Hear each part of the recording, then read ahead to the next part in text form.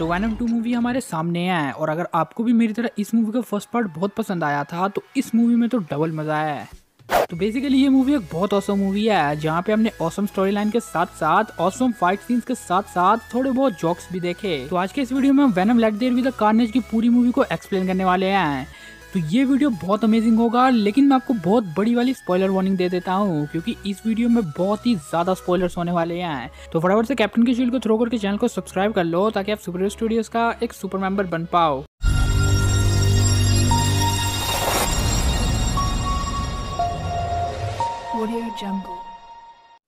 तो movie explanation शुरू करने से पहले बता दूँ कि मूवी की लास्ट यानी पोस्ट क्रेडिट सीन बहुत औसम है तो उसे मिस मत करना।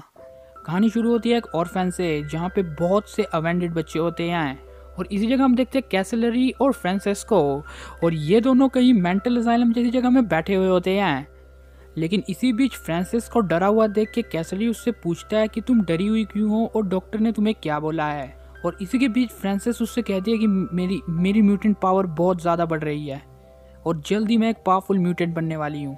लेकिन ये बात तो तब भी सही थी, लेकिन बहुत से लोग उसके ऊपर एक्सपेरिमेंट करने के लिए भी आ रहे थे। तो वो उसे और भी ज़्यादा कॉन्फिडेंस देता है कि तुम शांत रहो, बाकी सब कुछ देखा जाएगा। लेकिन उसी बीच बहुत से लोग आते हैं और फ्रांसिस को वहाँ से ले जाते हैं। और इसके मुकाबले में क्लेटस कुछ भी नहीं कर पा रहा था। मानो उसके बस का कुछ नहीं था। वो दीवारों में हाथ मार रहा था तो कभी गाड़ियों के शीशों पे। लेकिन वो फ्रांसिस को नहीं बचा पाया। वो उसे ले ही जा रहे थे, लेकिन वैसे ही फ्रांसिस अपनी सोनिक पावर्स का यूज़ करती है।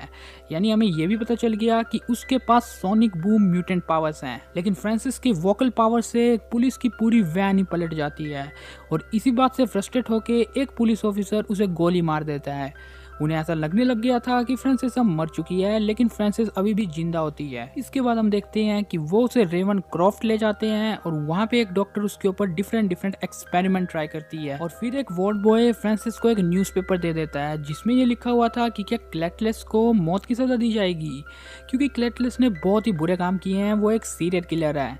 और उसका केस बीच में फंसा हुआ है कि उसे मौत की सजा दी जाए या उसे छोड़ा जाए। और इसके बारे में जो भी इन्फॉर्मेशन कलेक्ट की है, वो और किसी ने नहीं, बल्कि एडी ब्रॉक ने ही की होती है। तो अब सीन बदलता है और अपने हीरो की एंट्री होती है। तो पैट्रिक नाम का एक इंसान एडी को ये कह रहा होता है कि केलस बस तुमसे ही मिलना चाहता है और वो किसी से नहीं। तो इसके रिप्लाई में एडी कहता है कि यार मुझमें क्या है ऐसा? उसे किसी से भी मिला दो, मुझसे क्यों मिला रहे हो? लेकिन वो तब भी कहता है कि वो बस तुमसे ही मिलना चाहता है। लेकिन पैट्रिक बोलता है कि कुछ डेड बॉडी से रिलेटेड इंपॉर्टेंट बातें है जो वो तुम्हारे साथ शेयर करना चाहता है, इसलिए उससे जाके ज़रूर मिलो। फिर हमें वही ट्रेलर वाला सीन दिखता है जहाँ पे वैनम एडी से बाहर निकल के उसे खाने लग पड़ता है, यानी पैट्रिक को खाने लग पड़ता है। लेकिन उसी बीच एडी वैनम को खींचता है और वो दोनों एक टॉयलेट में चले जाते हैं बट कांड तो हो चुका था। पैट्रिक्स प्लस एक लेडी जो बाथरूम कर रही होती है, वो सब एडी और वैनम की बातें सुन लेते हैं। एक्चुअली में बाथरूम के अंदर वैनम एडी को कहता है कि क्या तुम्हें कोई बात समझ नहीं आती है? बाहर सिटी में बहुत से लोगों को प्रोटेक्शन की ज़रूरत है। हमें उनकी प्रोटेक्शन करनी चाहिए। लेकिन एडी बोलता है, यार, थोड़ा तमीज़ से यार। थोड़ी रिस्पेक्ट तो करो। आखिरकार मैं तुम्हारा होस्ट हूँ। तो अब एडी उन सब की बात मान लेता है और क्लेटस से बात करने चला जाता है। तो अब ये वही वाला सीन था जो हमने ट्रेलर और वैनम की पोस्ट क्रेडिट सीन मूवी में भी देखा था। तो अब उन दोनों के बीच बातचीत शुरू हो जाती है, लेकिन इसी बीच एडी उससे पूछता है कि सीधी तरह बताओ तुमने मुझे क्यों बुलाया यार, मुझे और भी काम धंधे होते हैं। तो अब क्लैटलेस उसे कहता है कि बस तुम्हें एक न्यूज़ प्रिंट करनी है मेरे फैंस के लिए, और इसके बदले मैं तुम्हें वो एक्सक्लूसिव इंटरव्यू दूँगा जिसमें मैं अपने सारे राज खोल दूँगा, और जो भी मैंने कत्ल किए हैं वो सारे बता दूँगा। एडी भी लाइक सचमुच? मज़ाक तो नहीं कर रहे ना? लेकिन तब भी आरडी के मन में डाउट था और वो पूछता है, आखिर इस सब काम के लिए बस मैं ही क्यों?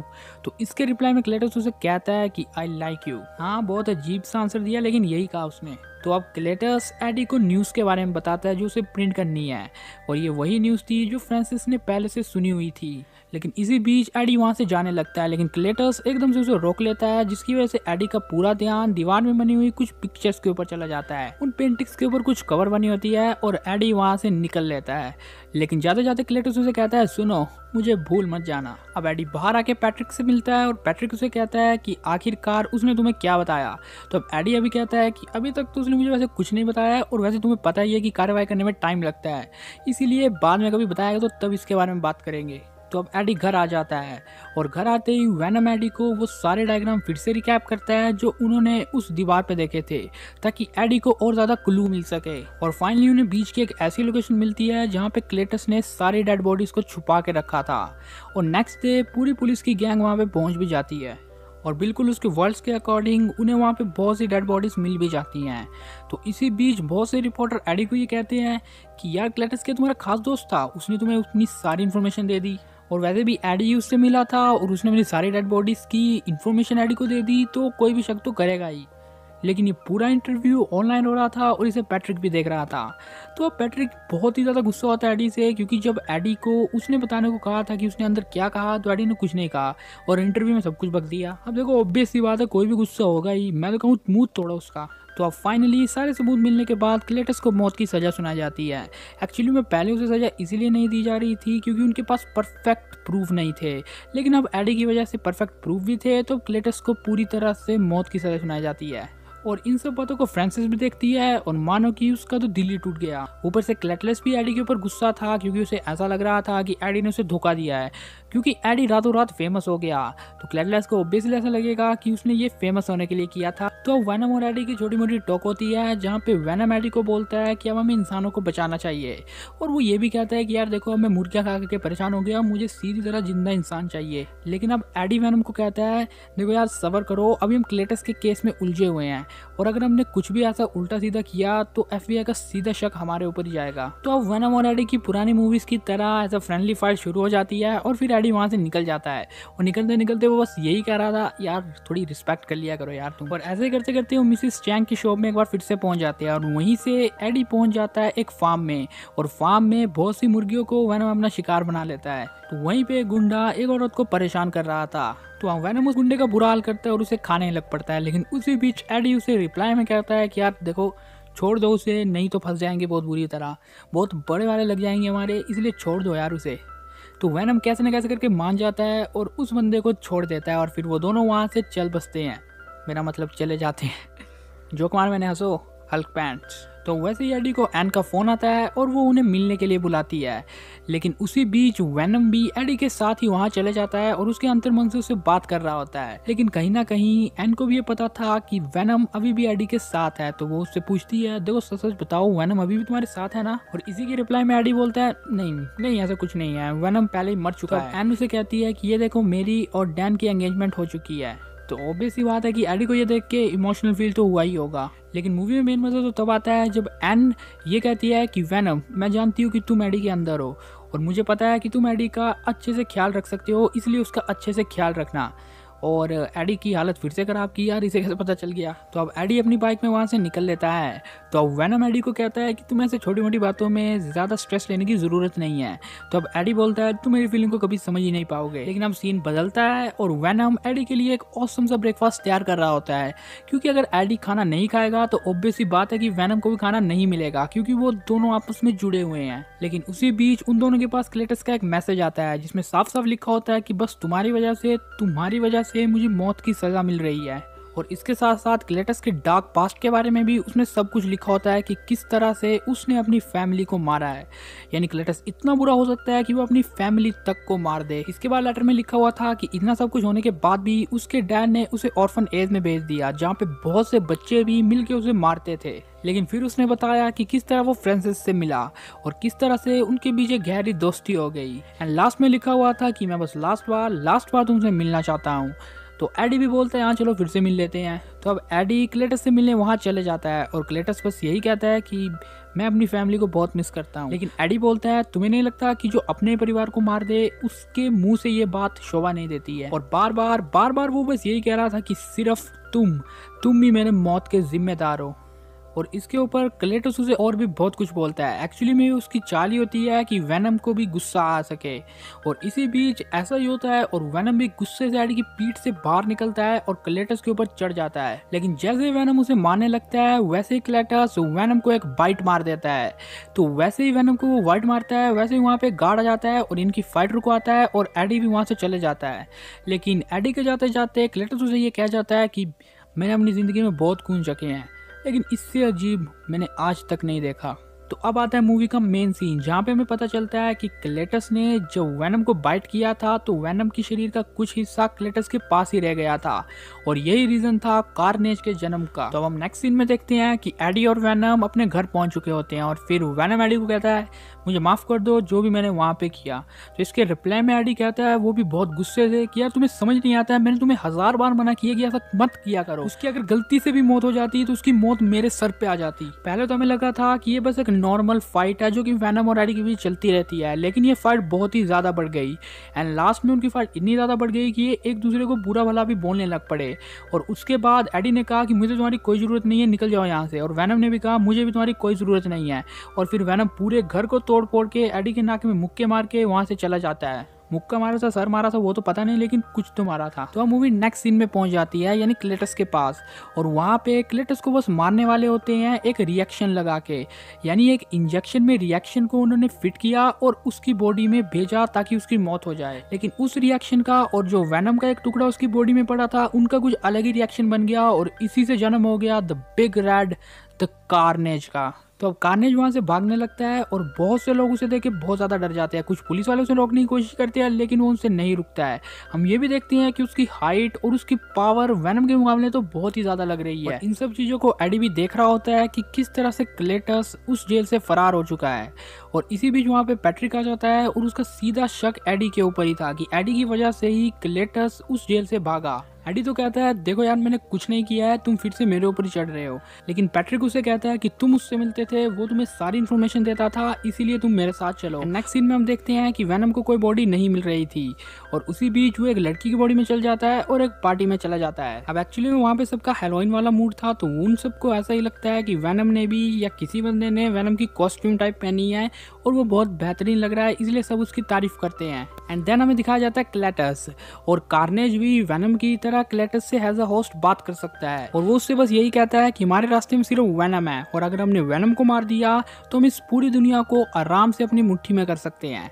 लेकिन इसके रिप्लाई में कैटलेस यही कहता है कि पहले हम फ्रांसिस को बचाएँगे, बाकी बातें बाद में देखेंगे। कार्नेज इस बात से एग्री हो जाता है। तो अगले सीन में हमें दिखाया जाता है वैनम को। तो वैनम उस पार्टी में बहुत ज़्यादा इंजॉय कर रहा था। वैनम उस पार्टी को जीत भी चुका था।